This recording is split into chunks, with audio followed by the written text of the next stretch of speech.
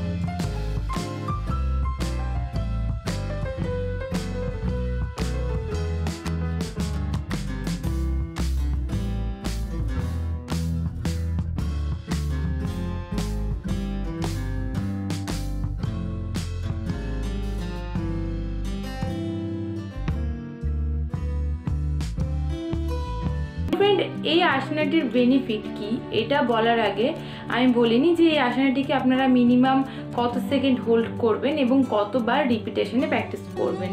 এই আসনাটিকে minimum ten second hold করবেন এবং থ্রি টাইমস রিপিটেশনে প্র্যাকটিস করবেন। যদি পসিবল হয় যে আপনি রিপিটেশন টাইম বাড়াতে পারছেন কিংবা হোল্ডিং টাইম বাড়াতে পারছেন, তাহলে বাড়াতে পারেন, কোনো অসুবিধা নেই। কিন্তু কোনোভাবেই যেন প্রেশার দেবেন না। এবার আমি বলব যে আসনটি করার বেনিফিট কি? এই আসনটি যদি প্র্যাকটিস করেন, তাহলে আপনার ব্যাক পেন অর্থাৎ upper back pain middle back pain lower back pain back pain কিন্তু দু তিন রকমের হয়, অর্থাৎ আপার লোয়ার আর মিডিল এই আপার লোয়ার মিডিলেরও কিন্তু আবার ভাগ আছে। অর্থাৎ আপনি যদি সামনের দিকে ঝুঁকলে ব্যাক পেন হয় কিংবা পিছন দিকে ঝুঁকলে পেন হয়, সেসব ক্ষেত্রে কী কী আসনা করা দরকার? তার ভিডিও কিন্তু আমার চ্যানেলে অলরেডি আমি আপলোড করেছি আগে। চাইলে সেই ভিডিওটা দেখতে পারেন এবং তার লিঙ্ক আমি আমার ডেসক্রিপশনে দিয়ে দেবো। তবে এই আসনটি করার যেটা বেনিফিট সব থেকে বড়ো সেটা হচ্ছে যে আপনার মিডিল লোয়ার এবং আপার এই তিনটে ব্যাক পেনই কিন্তু থেকে আপনাকে মুক্ত রাখতে কিন্তু সাহায্য করে। এছাড়াও এর আর একটা অন্যতম বেনিফিট হচ্ছে যে আপনার হিপ মাসল এবং হ্যামস্ট্রিং মাসলকে স্ট্রং করতে অর্থাৎ স্ট্রেংথ বৃদ্ধি করতে কিন্তু খুব সাহায্য করে। এবার আমি বলব যে এই আসনাটিকে আপনারা কখন প্র্যাকটিস করবেন? অবশ্যই সকালবেলায় যখন আমাদের স্টমাক পুরো খালি থাকছে সেই সময় এবং বিকেলবেলায় যখন প্র্যাকটিস করবেন তখন অবশ্যই মনে রাখবেন যেন খাবার খাওয়ার চার থেকে পাঁচ ঘণ্টা পর আপনি আসনটি প্র্যাকটিস করেন। কোনোভাবেই কিন্তু খাবার খাওয়ার পরে এই আসনাটিকে প্র্যাকটিস করবেন না। আশা করব যে কমেন্ট করে জানাবেন যে আপনারা কেমন রেজাল্ট পাচ্ছেন এবং ভিডিও কেমন লাগছে।